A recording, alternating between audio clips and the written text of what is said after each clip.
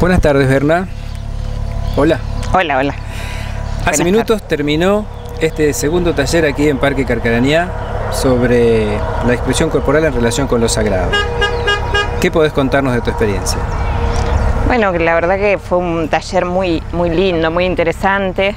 Este, mm, nos falta investigar sobre los fundamentos del mismo, pero la verdad que como experiencia ha sido muy bueno. Este, hubieron algunos ejercicios, algunas técnicas, algunas em, especies de ceremonias, experiencia en definitiva que eran conocidas o similares a otras que hemos tenido en distintos ámbitos, algunas en el ámbito del movimiento humanista, otras en el ámbito de la danza contemporánea, pero eh, en definitiva la idea de este taller es sintetizar, ¿no es cierto?, la relación de lo que es la expresión corporal, es decir, el cuerpo como instrumento que tenemos para manifestarnos en este mundo, eh, como vehículo también para comunicarnos con lo sagrado, con lo profundo, con aquello que da sentido a nuestras vidas, aquello que nos identifica con lo que somos más allá de aquello que cotidianamente percibimos que somos o entendemos que somos. Y realmente fue un placer también compartir con muchos amigos este, este encuentro, este espacio, el espacio de la sala como acción de forma para la expresión corporal, para la danza, eh, también fue una experiencia nueva.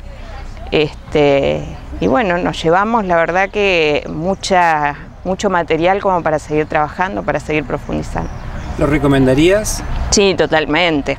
A cualquiera, haya hecho disciplinas de la expresión corporal, de la danza o no, creo que también esa heterogeneidad del grupo enriquece esa diversidad este, y, bueno, eh, sí, no es necesario tener ningún tipo de preparación previa. Solo la buena disposición a tener una linda experiencia, a tener, eh, confiar en, el otro también, de que está en la misma búsqueda, en esa misma investigación y la verdad que es bueno para todo ser humano, de cualquier edad, género, hubo varios chicos que a veces en estos espacios escasean, ¿no es cierto? Este, y bueno, hay gente mayor, gente joven, así que es muy lindo. ¿Es la primera vez que haces este taller? Este taller sí. Pero tenés unos años de participación y experiencias en trabajo interno. ¿Te ha resultado muy provechoso?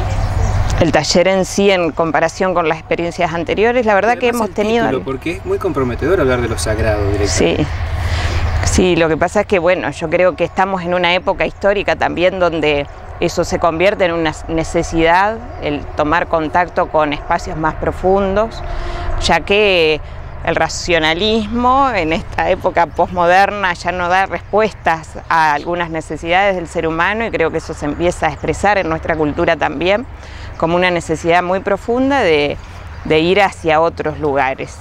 Y por otra parte, eh, en relación a mi experiencia, te digo que sí he tenido algunas, algunos Em, indicadores, algunas, algunas eh, propuestas, ¿no es cierto?, de este taller que me han parecido así significativas y que em, me han ayudado a encontrar otras puertas también como para conectarme con eso profundo, con eso más sagrado, con eso que, es, que me une a lo conjunto y al mundo, ¿no? al universo, a todo lo que existe.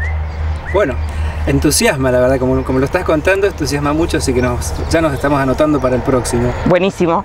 Muchas gracias, Berna. gracias.